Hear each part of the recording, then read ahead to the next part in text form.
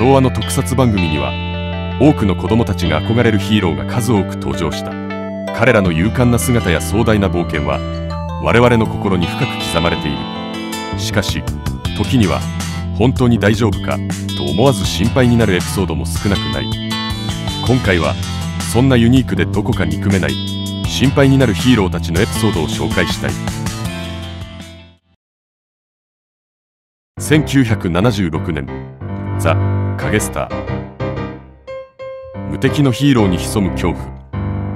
風村コンツェルンに勤務するサラリーマンの青年。姿影夫と社長令嬢である風村鈴子。2人の運命は突如として警官に変装した。白老魔人の一団に誘拐されることで大きく変わる。囚われの身となった影尾と鈴子は起点を利かしてアジトから脱出するが誘拐団一味の激しい追撃に遭い崖下の高圧線に落下。この事故により2人は感電し電気ショックによって体質が変化してしまう。その瞬間悪を憎む2人の心が影に宿り影尾と鈴子の影から超人影スターとベルスターが誕生。俺に代わって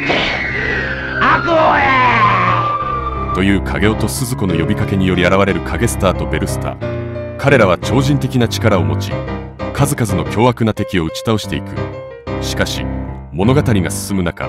突如影スターが戦闘の最中に呼び戻されるという異常事態が発生。誰だ？この肝心な時に俺を呼ぶのは！その正体は影スターの実体である影尾だった。実は影尾が影スターと分身した後彼は虚脱状態に陥るため影スターが戦闘を繰り広げている間無防備な状態に置かれてしまう。影尾が子犬に吠えられ恐怖に駆られて影スターを呼び戻してしまうという出来事が起こる。ヒーローである影スターが犬に恐怖する姿は子供たちにとって衝撃的でありこのエピソードは当時の視聴者に強い印象を残した。子供たちが楽しんだヒーローごっこにもこの影尾の犬恐怖症は影響を与えたかもしれない。しかしこの設定は影スターのヒーローとしての足を引っ張る要素となりその後のエピソードからは廃止されることとなる。こうして影スターの欠点は物語の中で修正され彼は再び無敵のヒーローとして活躍するようになったのだった。影スターとベルスターの物語は昭和特撮の中でも異色の存在として多くのファンに愛された。彼らの冒険と成長そして人間的な弱点を乗り越える姿は視聴者に深い共感を呼び起こし今なお語り継がれている。待って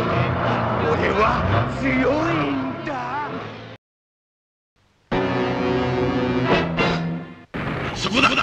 あと30秒も経てばスペクトルマンは死ぬ離すなよ食らいついていろいいかマンガダウルス1971年スペクトルマンサラリーマンヒーローの悲哀スペクトルマン彼は指令衛星ネビュラ71から悪の天才科学者宇宙エンジン5里の追跡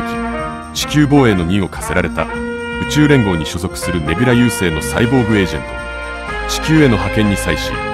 ガモウジョージという地球人の姿を与えられている。彼がスペクトルマンに変身するにはネビュラ71の絶対的な許可が必要でありさらにネビュラ71を目視できない場合の変身は不可能である。そのため天気が悪く空が曇っている場合などは変身ができない。物語の中でガモウジョージは東京の街をゴリが生み出したネオヘドロンから救うために変身を余儀なくされる。しかしゴリが東京の空をスモッグで覆ってしまっていたためネビュラ71を目視できずに変身ができないことがあった。その時ガモウジョージが取った行動はたまたま近くに路駐していた誰のものとも知れぬ自動車を無断借用し走り出す。追ってきたネオヘドロンはガモウジョージの運転する自動車を破壊。間一髪で車から飛び出し今度はたまたま近くにいたアベックのバイクを奪い羽田空港まで走っていく。空港に到着したガモウジョージはバイクを乗り捨て鍵が差しっぱなしのセスナ機を物色。決めた。飛びるぞ。街を覆うスモッグよりもさらに上空に飛んでいきそこでセスナから飛び出しスペクトルマンに変身するのだった。東京上空で乗り手を失ったセスナがこの後どうなったかは定かではないが当然のことながらいずれ墜落するはずであり墜落現場が大惨事になったことは想像に難くない。ガモウジョージ一個人として行動する際は他人の自動車バイクセスナを次々と盗んでは乗り回し挙句に二次災害を気にせず乗り捨てるなどまさにやりたい放題。加えて他人にスペクトルマンであることがバレてはならないということもあり漫画版では人を救出することにさえも許可が必要となった。しかし断固としてネビュラ71は許可を出すことはなく融通の利かない分からずやめこの光景は上司の理不尽な命令に振り回されるスペクトルマンがサラリーマンと言われるゆえんである結局スペクトルマンに変身することができずに船長は後々命を落としてしまうこととなる。子供たちが楽しんだヒーローごっこにもこのスペクトルマンのサラリーマン型は影響を与えたかもしれない。まずスペクトルマン役の子供は晴れの日限定でしか変身ができないため曇りや雨の日は変身のできない単なるガモジョージ役となりネビュラ71役に決まった子供は高い位置で全く動くことはなく自分の機嫌やさじ加減で変身の許可を出すというまるでサラリーマン社会の縮図のような遊びを体験することとなったのではないか。このようにスペクトルマンの物語は単なるヒーローアクションにとどまらずサラリーマンの苦労や理不尽な上司の存在を風刺するユニークな一面も持っている。スペクトルマンの葛藤と奮闘は昭和特撮の中でも異色の存在として多くのファンに愛され続けている。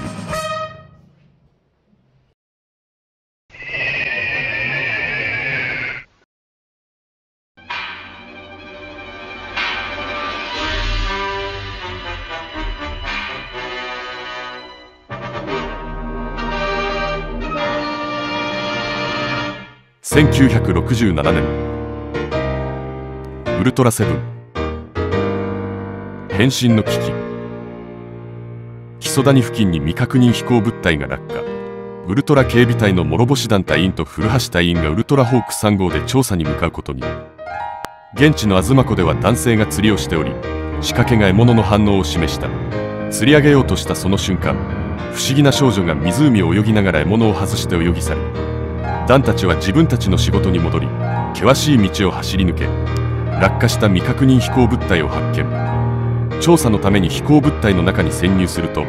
先ほどのいたずら少女がそこにいた。ダンは少女の足であの険しい山道を自分たちより早くたどり着いたことに疑問を抱く。その時催眠ガスが発生しダンと古橋は意識を失ってしまった。不覚にもダンはウルトラセブンに変身するために命のように大切なウルトラアイを盗まれてしまう。最終的にダンはウルトラアイを取り戻しウルトラセブンに変身して事態を収束させるが第3話湖の秘密でのこの失態が終わりではなかった。地球防衛軍のマックス号の任務に向かう隊員たちを見送るダンその帰り道車の故障に困った女性を目撃。無視できないダンは手助けをするがどこも悪くないですよ。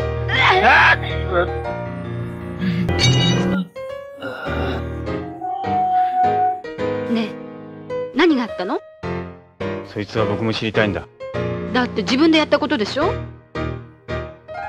うん。アンヌ隊員に嘘をついた上にまたもウルトラアイを盗まれてしまうのである。この話は第4話マックス号応答せよでの出来事で2話連続でウルトラアイを盗まれてしまった。このような危険性があるならばチェーンでもつけて体から離れないようにするなどの工夫をすればよいのだが一向に改善することはなかった。そのせいもあってか今度は不吉な雲の流れが地球防衛軍の上空をみるみる暗くしている。地球防衛軍基地周辺は大寒波に襲われ猛吹雪となっていた。その頃ポインター号で外部にいたダン零下112度の寒波にポインター号は故障してしまう。やむなくダンは徒歩で基地に向かうこととなった。ウルトラセブンにも弱点があった。光の国 M78 星雲から来た彼は普通の人間以上に寒さに弱かったのだ。猛吹雪の中をゆっくりと歩いていくダン。基地に着けば温かいコーヒーとスチームが俺を待ってるぞ。突如彼は地球防衛軍基地を凍らせたと伝える幻覚を目にする。ついでに言っておくが地球防衛軍とやらをまず手始めに凍らせてやった。基地の危機を感じ取ったダンはウルトラセブンに変身して基地に向かうことを決意。しかし度重なるウルトラ愛に関する失態があったにもかかわらず何の対処もしていなかったため猛吹雪の中にウルトラ愛を落として噴出してしまうのである。第25話零下140度の対決でのことだった。しかしまだこれで終わらず第37話盗まれたウルトラ愛にてまたもや若い女性に化けたマゼラン星人マヤにウルトラ愛を奪われてしまう。ダンはすっかり若い女性に弱いことが露呈してしまった。さらにウルトラヒーローとしてあるまじき大失態をしでかしたのは第46話団体セブンの決闘でのことだった。ロボットの偽ウルトラセブンを作ったサロメ星人の罠にはまったダンは敵の催眠術にかかってセブンのウルトラビームの秘密を明かしてしまう。そしてセブンに変身し危機から脱出することを考えるがなんとダンは車の中にウルトラアイを忘れてしまっていた。結果ウルトラアイを4度と奪われることはなかったが以降の昭和ウルトラマンは1971年帰ってきたウルトラマンのように変身アイテムが不要であったりリングやバッジのように肌身離さず持つようになるなど変身アイテムが奪われるシチュエーションはなくなったのだった。子供たちが楽しんだヒーローごっこにもこの段のウルトラアイは影響を与えたかもしれない。メガネをかけている子供がセブン役になれる可能性が高くなるのは当然でヒーローごっこに参加する女の子はスパナで殴ってメガネを盗むことができる。その影響からメガネを盗まれた子供は単なる諸星弾薬になったのかもしれない。